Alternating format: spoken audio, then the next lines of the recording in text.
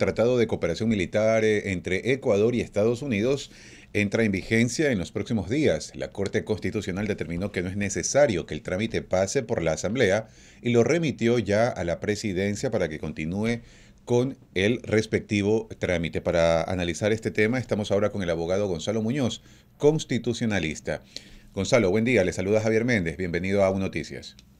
Estimado Javier, muy buenos días. Muy buenos días a todas las personas que nos ven por Catomedia hoy en la mañana.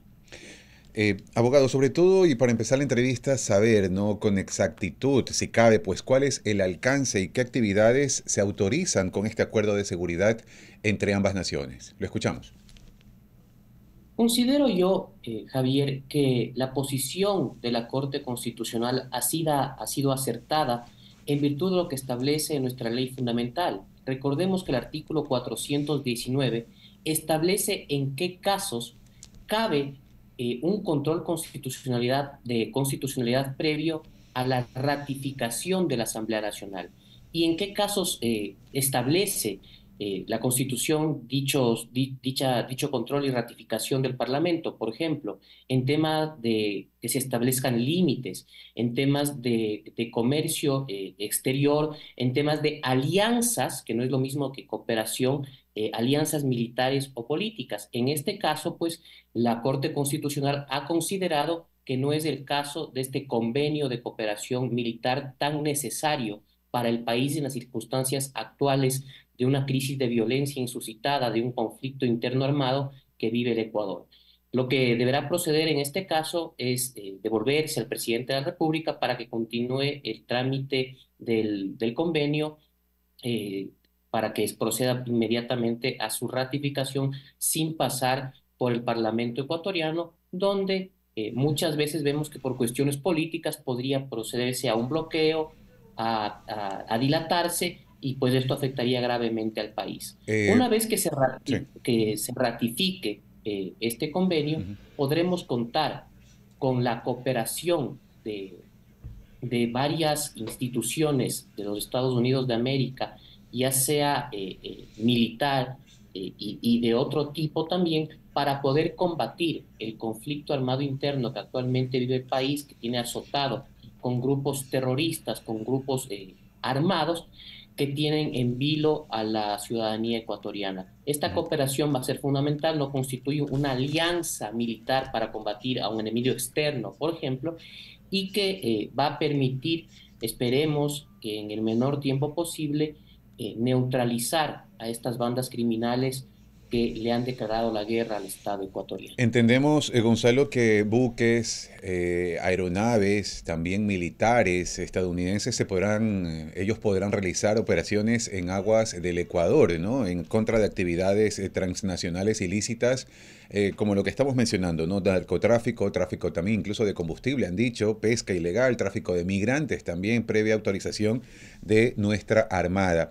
Ahora, la Guardia Costera también podrá intervenir cuando un buque sospechoso eh, descubierto en aguas internacionales huya al mar territorial del Ecuador. Pero lo que la ciudadanía se pregunta también, ¿cuán, eh, ¿cuánto está realmente garantizada la soberanía y la integridad territorial de nuestro país con la llegada de estadounidenses, Gonzalo?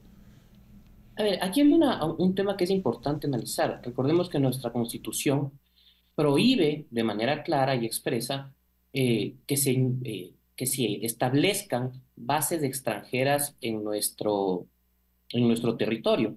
Esto claramente no es un caso, no se está estableciendo una base extranjera como sucedió, por ejemplo, en la base de Manta antes de, de la constitución de Montecristi que tuvieron que salir una vez que la misma fue aprobada. No se renovó ese convenio. Aquí no se, no se está estableciendo ninguna base extranjera en el Ecuador, sino que en virtud de un convenio de cooperación entre dos estados soberanos, se está permitiendo el ingreso de tropas eh, militares. ¿Para qué? Para que en virtud de ese convenio puedan combatir a un enemigo en común, un enemigo en común que en este caso no solamente en el, eh, del Estado ecuatoriano, sino de otros estados también, incluidos los Estados Unidos de América. ¿Por qué?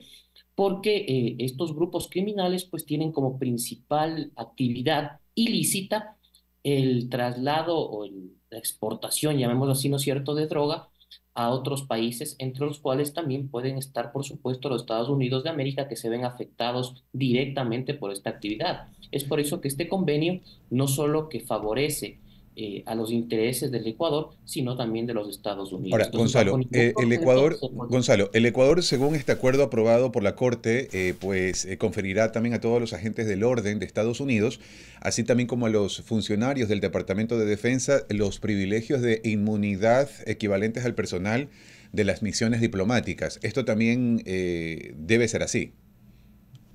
Me parece una posición bastante correcta, toda vez que estos, estos funcionarios, pues, ¿no es cierto?, eh, vienen acá en calidad de, no exactamente, llamémoslo así, como agentes consulares, como agentes diplomáticos, pero en una situación bastante similar. Esto es una protección eh, adicional que me parece correcta al amparo del derecho internacional, del derecho consular, que eh, pues les permite con mayor con un mayor margen dentro del derecho ejercer sus funciones en el Ecuador. Eh, de esta manera eh, van a poder establecerse con mayor facilidad con, las ventajas que considerándolos de esta manera les otorga el derecho para poder establecerse en el país. es decir, como agentes consulares, por ejemplo, eh, van a poder en, el tema de vehículos, en el tema de su domicilio y ese tipo de cuestiones, tener ciertos beneficios a la luz, a la luz de estas normas internacionales. Gonzalo, la jefa del Comando Sur, eh, la general Laura Richardson, pues eh, sobre la hoja de ruta de la asistencia de seguridad para Ecuador por parte de su país, de Estados Unidos, y también la cartera de inversiones de 93,4 millones de dólares eh, que Estados Unidos tiene el país para, para la materia. Pero la pregunta, ¿no? De cajón también, todo esta eh, ayuda, todo este apoyo de Estados Unidos, ¿cuánto le va a costar a nuestro país? Tendremos que analizar las cifras. Yo no le podría mencionar, estimado Javier, un tema exacto, pero ve, más allá de, más allá de, la situación económica muy, muy grave, eh, como ayer lo ha manifestado, por ejemplo, el ministro de, el ministro de Finanzas en la, en la Asamblea Nacional, por ejemplo, respecto de la situación de la UAFE ahorita la UAFE, no solamente en este gobierno, en, los anteriores también ha, pasado por, por, una situación que no ha sido la, ideal. Esperemos que, que, siga avanzando. ¿Por qué? Porque no se puede, la, mejor forma de atacar al crimen organizado es en sus finanzas. Usted le ataca a, las finanzas del crimen organizado y es la, más forma, la forma más, más directa eh, de golpear eh, e irlo desvaneciendo.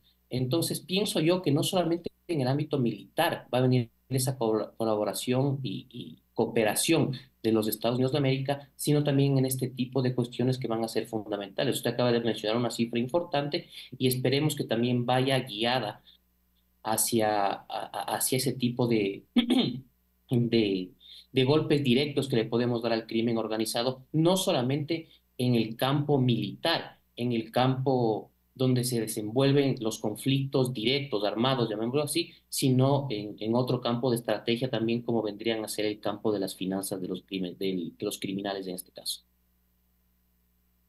Eso sobre todo tenerlo claro, eh, Gonzalo, que es colaboración de Estados, de Estados Unidos, no invasión, como algunos sectores políticos ya lo están mencionando, porque las, em, la lucha eh, para recuperar la soberanía no es ahora contra Estados Unidos, sino con, eh, contra el crimen transnacional.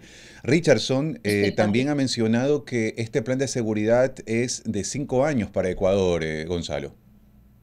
Es que aquí tenemos que tener claro, y todos los grupos políticos, actores sociales, etcétera, tenemos que tener un acuerdo en común, una unidad de propósito respecto a qué. Quienes violentan, en este caso, nuestra soberanía, no son otros estados, que en este caso, como los Estados Unidos, vienen a cooperarnos para luchar contra este crimen organizado, sino que son estas bandas organizadas que son las que atentan contra el Estado ecuatoriano, a quienes le han declarado la guerra y atentan ellos sí contra nuestra soberanía. Ellos son nuestros enemigos de todos los ecuatorianos, del Estado en sí mismo.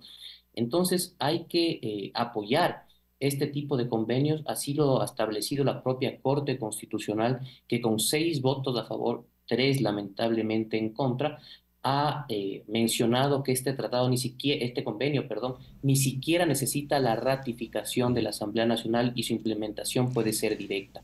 Una vez que esto ha sido así, es un gran paso otro más, otra herramienta, otro instrumento para poder seguir peleando contra el crimen organizado. Eh, Gonzalo, eh, recordemos también el cuestionado Plan Colombia, ¿no? Fue la principal estrategia del gobierno del vecino país para combatir también el narcotráfico. Estuvo eh, vigente durante 15 años, tuvo el respaldo financiero y militar también del gobierno de los Estados Unidos, hasta que fue reemplazado por otro programa llamado eh, Paz Colombia. Este, este, este plan Colombia, según la definición del gobierno de aquel país, fue una estrategia para luchar contra el narcotráfico, para fortalecer la institucionalidad, para recuperar la seguridad, para consolidar el desarrollo social. Sin embargo, recordemos pues, mientras estuvo activo no logró reducir las plantaciones de coca eh, en el vecino país y aumentaron más bien las denuncias de violaciones a los derechos humanos. Le pregunto, ¿en qué se asemeja ¿Y en qué se diferencia del Plan Colombia esta ayuda eh, por parte de Estados Unidos ahora a nuestro país?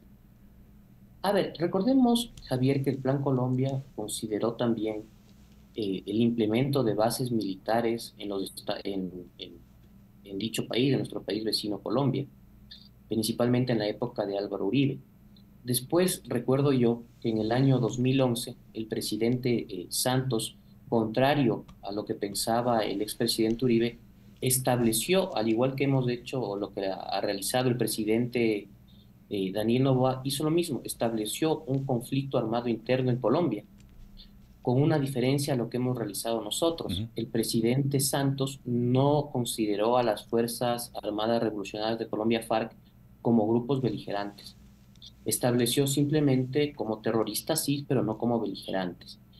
Eh, entonces, eh, esa fue la diferencia, más allá de que contaba igual con la, con la, con la colaboración de, grupos estadounidenses, que yo pienso que esa ayuda sí fue importante. ¿Para qué? Para que después, una vez ya disminuidas, porque no, no hay cómo negar que en la década de 2000, 2010, sí sufrieron las FARC una, un debilitamiento bastante importante debido a la arremetida que, tuvo en la presidencia de Álvaro Uribe, con colaboración también de, y cooperación, llamémoslo así, de los Estados Unidos de América. Gonzalo, pero, pero, pero algo, algo que pues definitivamente no paró el tráfico en Colombia y tampoco ni afectó ni disminuyó la demanda en Estados Unidos, uno de los mayores consumidores de cocaína. Entonces tampoco de momento nada garantiza que esta ayuda, esta colaboración de Estados Unidos vaya realmente pues a erradicar una situación transnacional.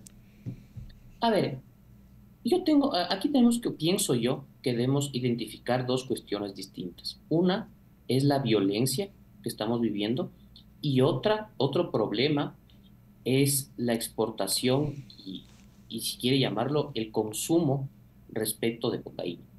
Yo pienso que eh, en posición personal es la, eh, el consumo, el tráfico de drogas tiene que solucionarse de otra manera, no solamente en el Ecuador, sino a nivel regional y si quiere mundial. La única forma, pienso yo, y lo han reconocido varios, varios expresidentes que ya han tenido este problema y posteriormente eh, tienen otro tipo de solución, y es precisamente analizar la legalización regional eh, mundial de este tipo de cuestiones. Lo dice el presidente Clinton, lo dice el expresidente Felipe Calderón, eh, entre otros, que ya incluido el presidente Gaviria, si no estoy equivocado, respecto de, este problema de las drogas. Ahorita la cooperación que tenemos con los Estados Unidos es precisamente sobre la violencia clínica. Bien, Gonzalo, algunos temas eh, pendientes, pero seguramente los volveremos a, tratar en alguna otra entrevista. Muchísimas gracias. A usted, Javier, muchas gracias a todas las personas que nos vieron esta mañana. Hemos estado pues acompañados eh, del abogado Gonzalo Muñoz, Muñoz, constitucionalista, hablando y analizando precisamente la Corte Constitucional dio paso a acuerdos de cooperación entre Estados Unidos y Ecuador.